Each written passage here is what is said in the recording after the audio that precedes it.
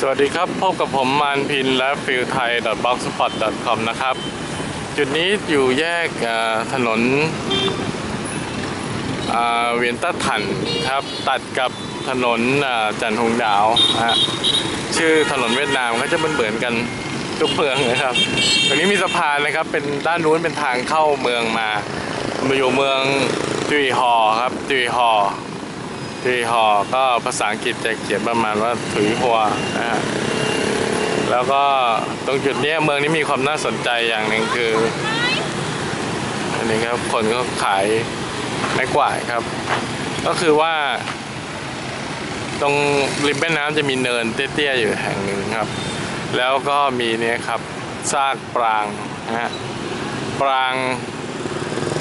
จะเห็นว่าเป็นศิลปะแบบอินเดียขอมนะครับ ชัดเจนเลย ไม่ใช่ศิลปะแบบจีนหรือเวียดแน่ๆนะฮะเป็นปางปางเกาะอิฐถือปูนนะฮะเกาะอิฐนะครับ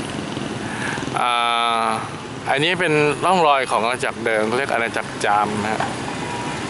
จามก็คือพวกจามเคยมีทธิพลแถวนี้มาก่อน จามนี่จะอยู่อิทธิพลเนี่ยไปถึงเทือกเขาหายวันนะครับ ก็คือถึงเมืองดานังนะครับ แถวนั้นหมีเซินแถวแถวฮอยอันนะครับที่ไปเที่ยวกันเนี่ยตอนนั้นก็เป็นเมืองใหญ่ของจาม แล้วก็จามเคยลบกับอขอมนะครับก็คืออาณาจักรนครวัดนะครับ เคยยึดนครวัดได้ด้วยนะครับ แล้วตอนหลังรู้สึกพระเจ้าชัยวรมันหรือสุริยะวรมันเนี่ยผมก็จำไม่ได้นะฮะ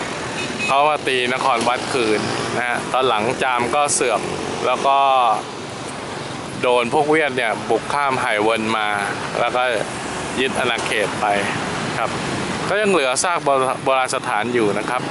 ในจังหวัดนี้ครับเมืองจีห่อจังหวัดฝูเยียนนะครับ ใกล้ๆเมืองกวีนอนนะครับกวีนอนเอ่อกวินเยนกวินเยนนะต้องออกกวินเยนนะภาษาอังกฤษจะกวีนอนที่อยู่อีกจังหวัดหนึ่งเนี่ยก็มีปราสาทปรางพวกอ่าพวกจามเหมือนกันครับ นี่เป็นตอนเย็นครับ ปางนี่จะอยู่เหนือเมืองพอดีเลย เมืองตุยหอกครับประเทศเวียดนาม